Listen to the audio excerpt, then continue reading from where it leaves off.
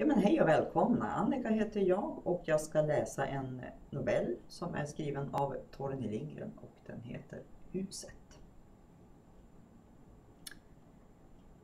Om du går vägen över Lauparliden eller Aurbäcken upp mot Långvattnet således på bortesidan av älven och Vormsjön över Avaklinten och Rönnhällan snett förbi Storsikberget som om du skulle åt Lyckselehållet. Ja, egentligen så är det ju inte vägen utan bara en riktning eller ett väderstreck. Då kommer du förbi ett par husgrunder och tre igenvuxna tegar och ett hus som står där än. Om det nu kan kallas ett hus. Åtminstone var det tänkt som ett hus. Till och med noga planerat och förberett ett åstundat och efterlängtat hus. Om du alltså går där förbi, då blir du ståendes ett tag och grubblar. Och du känner ett stygn av ängslan som om huset bara vore, inte bara vore sig självt utan också föreställde någonting annat. Du känner igen dig.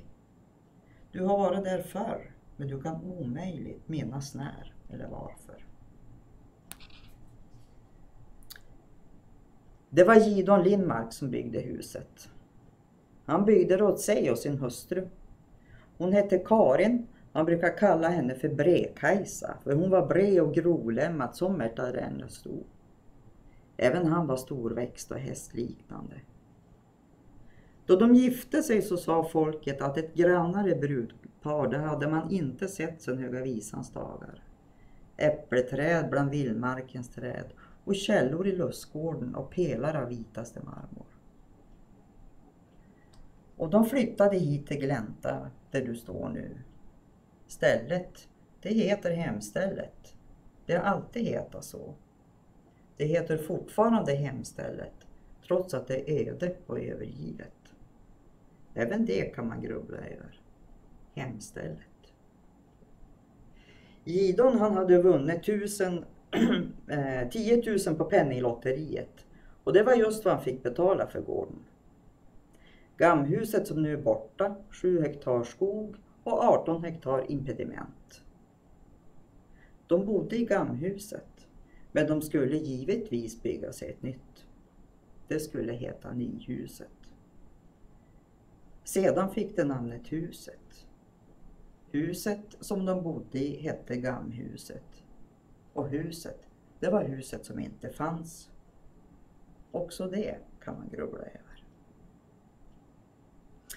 Huset skulle vara timmer som förr i tiden. Ändå så är det ju inte alls länge sedan. Nej, det här är alldeles nyss, för att inte säga nu, i vår egen tid, eftersom penninglotteriet fanns. Penninglotteriets tid, det är vår egen tid. Gidon var i, bygg, i hyggrensningen åt Sävenäs om somrarna. Vintertid jagade han och fiskade. De hade inga stora behov, de var barnlösa. All ledig tid gick åt till huset och den lediga tiden, den tog han sig när han ville. Han var händig, Gidon. Alla verktyg låg lika naturligt i hans hand.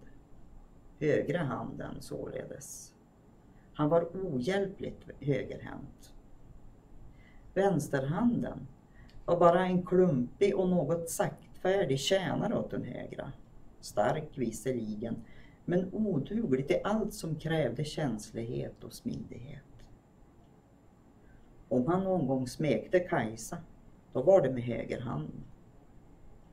Ja, med den kunde han uträtta i stort sett vad som helst, i synnerhet med hjälp av yxan och kniven och sågen och hyven och borren.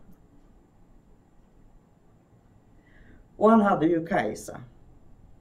Högerhanden och Kajsa, det var de två krafter som han kunde förtrösta på. Då han hade huggit styckena till stenfoten var det Kajsa som var hans traktor och hans häst och hans dubbrytare och som hjälpte honom att baxa stenblocken rätt och väga upp dem så att de kom i vattring. Det var sista veckan i maj de gjorde detta med stenfoten. Då alla styckena stod som de skulle så gick de ner till sjön. Vormsjön alltså, och badade. Kajsa simmade tvärs över sjön med en rev i munnen och drog ett gäddrag som Gidon hade skurat med benbit. Hon gjorde ofta så, simmade och drog draget. Vid Dahlinsällan fick hon en sik om tre kilos. Virket det tog Idon ur en skog, tallar som var kvistfria och 20 fot. Han tog dem i sluttningen mot sjön.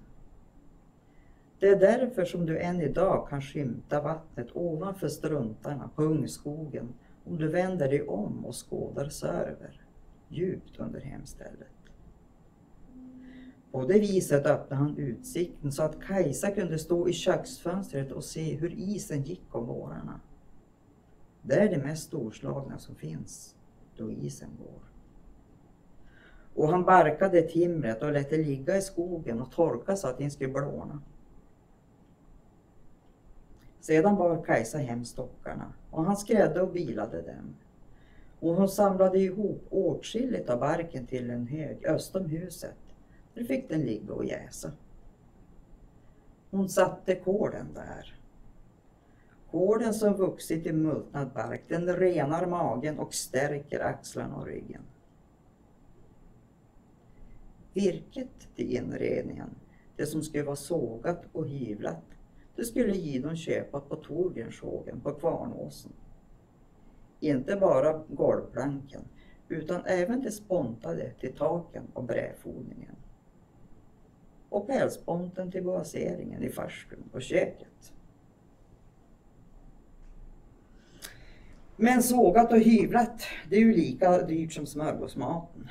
Så varje månad köpte han en penninglott av Jakobsson i Vormsele.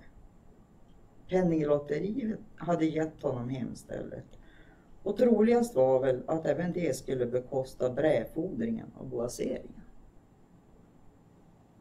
Även för dragningslistans skull gick han varje månad åt Vormsele. Själva timringen tog honom två somrar. Långsam var han och noggrann. Han bilade så fint och väl att stockarna var som hyvlade och han sågade och högg knutarna så att de skulle vara som vindtäta. Och syllarna, de var 15 tum. Och ingen stock, inte ens hönorna eller tuppen var klenare än 10 tum. Kroppåsen som han endast sparkade och slipade med morakniven så att den var som svarvad, den var 17 tum i tulländan. Utan Kajsa hade han aldrig fått upp den på nocken. Men somligt, det lämnade han ogjort. Han kapade inte väggbanden och stockändarna i knutarna, de lämnade han osågade och ojämna. Likaledes gjorde han med raffbjälkarna. Och han högg inte dörröverslagen släta och raka som det skulle vara. Mycket fick således sticka ut och vara oformligt och oavslutat. Men det sågade och hyvlade och spontade virkets hjälp så skulle han ändå göra ett stortag. Kapa och släthugga och skräda och putsa skulle han göra sedan han en gång vunnit på Penninglotteriet. Till taket klev han ungtallar och rev björknäver på Kronoparken. Därför är ungskogen som nu frodas mellan dig och sjön huvudsakligen gran. Kronan sätter gran. Och han bröt granstubbar på heden mot Svartliden. Där fick han takfotskrokarna, som ju nödvändigt ska vara självvuxna. I september på andra året efter grundläggningen så låg taket där. Därpå skulle takvedskammen kapas jämn. Det skulle göras samtidigt med allt annat som hörde till stortaget. Då han hade lagt sista takbrädan, lördagsaftonen i Mikael i helgen, då bar Kajsa upp kaffe och bullskivor till honom. De satt på varsin stekpinne och firade en liten högtid för takets skull. Då kom en karl gående. Han ställde sig på backen när de och pratade vid dem. Han var från Sikträsk och arbetade i gruvan i Kristineberg. Och det gällde givetvis huset. Om ett halvfärdigt hus kan man samtala ohyggligt länge. Särskilt en afton om hösten då det skymmer så att man inte så noga kan urskilja varenda småsak och alla de fientligheter och knep som byggaren, i det här fallet Dino, har hittat på. Mycket måste frågas efter och bli förklarat. Till slut frågade karln från Sigträsk. Men hur ska du ha råd med brädfodringen och allting annat sågat och hyvlat och spontat? Och pärlsponten i köket? Jag ska handla det av Torgren sågen på Kvarnåsen, sa Gidon. Men det virket, sa gruvarbetaren, är ju dyrt som smörgåsmaten. Ja, men man kan nog få en del på kredit, sa Gidon. Sågverken, sade gruvarbetaren, det ligger ute med så olättigt mycket penningar. De har icke råd med krediten. Egentligen, sa Gino, egentligen så har jag nog tänkt att skaffa mig penningar. Jaha du, sa gruvarbetaren från Sigträsk. Och hur ska du skaffa penningar i dessa tider? Då vände Gidon sitt röda ansikte med de svullna läpparna och de stora klotrunda ögonen ner mot gruvarbetaren och sa Jag har tänkt att jag ska vinna på penninglotteriet. På det viset, sa gruvarbetaren. Jaså du, på det viset. Och de teg en lång stund. Jag för min del, sa Kajsa, jag har aldrig riktigt kunnat tro på penninglotteriet. Men någonting, sa Ilon, måste människan förtrösta på. Och penningarna till hemstället, de fick jag av penninglotteriet. Då har du vunnit allt som du ska vinna i detta livet, sa gruvarbetaren. Är det någon sorts lag på det, sa Givon. Jo, och storhopen de dör utan att ha fått en enda vinst. En lom skrek från andra sidan Vormsjön. Det var nu så skumt att karln som stod nere på backen inte riktigt syntes längre. Till slut sa Kajsa. Det var bra att du kom och talade om detta för Gino. Men om jag inte får bygga huset färdigt, sa Gidon, då kan jag lika gärna ta slipsten under armen och gå och dränka mig. Han hade verkligen skaffat en slipsten, visserligen något skev, men ändå. Det var för verktygens skull. Nu ser du den inte, den är försvunnen under videriset. Men i Kristinebergsgruvan, sa gruvarbetaren, där behövs det folk och där skaffar man sig penningar. Jaha du, sa Ivan. Gruvan, sade gruvarbetaren. Hon är nästan som penninglotteriet. Ja, en geringssåg skulle jag även behöva, sa Gidon. Och ett riktigt vattenpass. Ja, jag ska ju ändå gå ända åt Sikträsk, sa gruvarbetaren. Och det är inte dagsljus mer.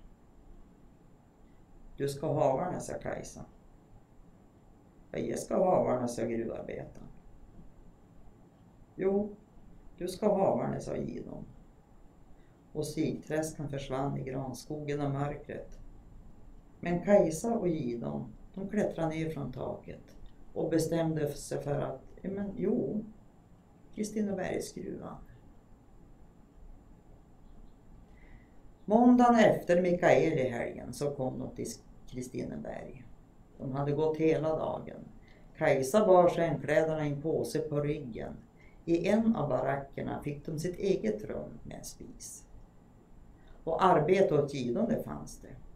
Ja, han kunde fritt välja mellan ett otal underjordiska befattningar. Sannolikt fanns det ingen gräns för hur många arbetare gruvan kunde rymma. Men Kajsa. Nej, gruvan var ingenting för kvinnorna. Kvinnor är i gruva, aldrig. Så här sa gruvfogden medan han kammade de väldiga ögonbrynen med fingernaglarna. Gruvan är ett mörkt och hisnande hål för män. Ett grymt och förfärligt sköte som endast öppnar sig för män. Men han tillfogade. Möjligen kan det kommas att behövas en kokerska. Kokerskorna brukar titt och tätt göras med barn av gruvarbetarna och då måste de ju bytas ut.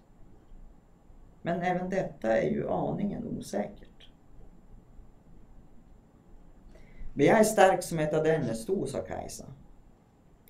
Men icke ens ett äkta adennersto skulle få komma ner i gruvan. Nej, det var omöjligt. Ingen enda märr av någon sort. Så stor var aktningen för allt kvinnligt inom gruvnäringen i Kristineberg. Så blev Gidon gruvbyggare. Händig var han ju och van vid att bygga. Nu knogade han med stegväggar och schakt och tappar och orter alldeles som han förr hade strävat med hemstället. I en djupare mening fortsatte han ju att bygga huset. Vart handgrepp förvandlades till klingande mynt och mynten skulle i sinom tid förvandlas till hyvlat och ohyvlat och pälsponten från Tågrensågen på Kvarnåsen. Hans bygge tog bara en liten omväg över Kristineberg. Det var ett ställföreträdande bygge och han var inte längre troende i penninglotteriet. Men efter nyåret så insåg de bägge, såväl Kajsa som Gidon, att inga pengar blev över för dem. Ingenting skulle någonsin bli över. Allt gick åt till att betala det där rummet i baracken och maten och arbetskläderna.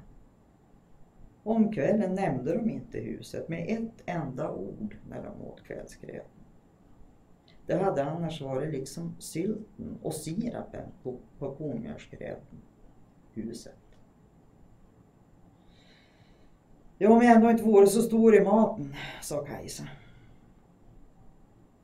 Men då det vart dagen, då tog hon på sig en skinnhuva så håret inte syntes och knöt två halsdukar omkring brösten så att de inte skulle sticka ut och så gjorde hon skäggstubb på hakan med en blyertspenna. Och hon gick till kontoret och förklarade att här hade de nu en gruvarbetare vars like aldrig skådats i Kristineberg. Vilket var det tyngsta arbetet och var fanns de bästa ackorden? Så hon fick bli lastare. Hon var den flinkaste och segaste och mäktigaste lastare som någonsin ställts där nere i orterna. Det hände ofta att förmannen kom och stod snett bakom henne och betraktade henne. Han bara stod och såg. Denna vidunderliga kropp som aldrig krånglade och aldrig behövde vila. Om man kunde uppfinna en sådan maskin. En maskin som vore som den här människan, en fulländad lastningsapparat. Det skulle vara det största framsteget i gruvbrytningens historia. Det var naturligtvis omöjligt för förmannen att veta att hon i själva verket inte öste berget med skopan utan hyvlat och ohyvlat virke från Torgrensågen på Kvarnåsen och Pälsponten. Det var huset som gav henne en stor del av kraften och uthålligheten. Om icke huset hade äggat henne hade hon endast varit som en vanlig ohyggligt stark karl. Och nu vart det äntligen pengar över. De hade en plåtburk extra prima kaffeersättning, hon och Gidon. Och i den lade de sedlarna och slantarna. Och Gidon började räkna virket i kubikfot. Vad skulle han ha av trekvartums och en och en halv tums? Och det spontade. Den där förmannen i Kristinebergsgruvan, han hette Lundvall. Han var söderifrån från Ludvika. En gång stod han en dryg timme och bara betraktade Kajsa medan hon lastade. Han stod i vakt. Då och då så vickade hans huvud till en rörelse av högstämd beundran och gripenhet. En sådan gruvarbetare. En lastare som var skön som ett uppfordringsverk. Till slut var han tvungen att ta fem steg framåt och harkla sig och utbrista. Du är förvisso inte vilken karl som helst. Då rätade Kajsa upp sig och sa Jo, jag är vilken karl som helst. Jag heter Manfred, men folket kallar mig för Manne. Nej, sade farman Lundvall, du är som tre eller fyra karakarar. Då genomfors Kajsa av en så våldsam skälvning och skålen föll ur hennes hand. Sladdlampan hängde på en stång bredvid vagnen. Ljuset föll på hennes ansikte. Det förvreds av en obegriplig blandning av förbittring och bestörtning och munter upphetsning. Och Lundvall nödgades att fortsätta. Du kan icke vara endast och allenast en vanlig kar. Jag är övertygad om att du är tvåfaldig eller till och med mångfaldig. Allt som finns hos oss vanliga karlar måste hos dig finnas i mångdubbel måtto. Allting på din kropp är rimligen så ofantligt att det nästan närmar sig det ohanterliga. Man törs nästan inte tänka på det. När han sa detta återkom den fruktansvärda skövningen hos Kajsa. Svetten som färgats grå av gruvdammet strömmade ner för hennes ansikte. Hon kunde bara tiga och kippa efter andan. Hennes ben darrade och hon tryckte händerna mot sina bröst som trots allt fanns där under de hårt åtdragna halsdukarna. Men till slut ryckte hon åt sig sladdlampan. Hon tog den i ena handen och förman Lundvall i den andra. Han var liten och finlämmad och sluttaxlad. Hon förde honom avsides in i en ficka i berget. Där talade hon om för honom precis hur det var och hennes röst darrade av harm och upphetsning. Hon talade om för honom att hon förvisso var kvinna. Hon sade att hon talade för sitt, om, för sitt kränkta kön och sitt upptända hjärta. Ja, hon satte lampan i förman Lummans hand och knäppte upp sina kläder och återgav bägge bösten deras frihet. Hon uthärdade inte längre, sa hon. Hon måste få framvisa sitt kön för honom. Och förman Lundvall lutade sig fram. Lampan skakade i hans hand så att ljuset fladdrade då han böjde sig ner för att noga se detta som hon visade honom. Det var ingen som helst tvekan om att hon var en kvinna. Då han betraktade detta som hon lät honom se så började han hacka tänder av åtrå. Och med en röst som stundom gick upp i falsett så bekände han att han älskade henne. Något sådant hade hon aldrig hört från Gidon. Och hon sa att hon var lamslagen och besegrad. Det här är nog alldeles ohjälpligt, sa hon. Då Gidon kom hem till rummet i baracken om kvällen, då såg han genast att Kajsa hade farit ifrån honom. Sådant hade ju alla hört talas om. Han kände igen tecknen. Hennes kläder var borta och sykorgen och tygpåsen med papiljotterna och unika-boxen med de särskilda bindorna. Kajsa och förman Lundvall, de ska ha dragit iväg åt södra Sverige. Det påstås länge att hon for omkring på marknader där hon rätade ut hästskor och lyfte karar och rev telefonkataloger mitt i tu. Många hade sett den. Det sades också att han bytte namn och blev pingstpredikant under kriget och sen hamnade i riksdagen. Man vet aldrig någonting. För Gidon tycktes detta vara slutet i fråga om huset. Men längst nere i plåtburken, extra prima kaffeersättning, under pengarna, så låg det en papperslapp från Kajsa. För min skuld ska du göra huset färdigt. Hon hade verkligen skrivit så. Skuld. Men Gidon kunde ju inte stanna i Kristineberg där alla visste allting. I Adakgruvan däremot hade ingen hört talas om honom och Kajsa och förman Lundvall. Gruvan var nyöppnad och han städslade som borrare. Borrarna, de tjänade penningar. Han hade en brits i ungkarlsbaracken. Under skiften så borrade han Torgrens hyvlade och ohyvlade virke ur berget och givetvis pälsmaten. Ackorden var bra för penningburken. De andra karlarna, då de på nätterna låg och slängde sig hit och dit på britsarna därför att de drömde lidigt om kvinnor. Då låg Gidon blickstilla och tänkte på huset. En dag, det var sent om afton, då han var i färd med att borra för en salva inne i en ort dit byggarna ännu inte hade hunnit. Det var ofta så att de andra i laget kom långt efter honom. Då lossnade det ett litet stycke ur berget snett ovanför honom. Inte ett block egentligen, utan snarare bara en liten skärva. Och den föll rakt ner i hans högra axel.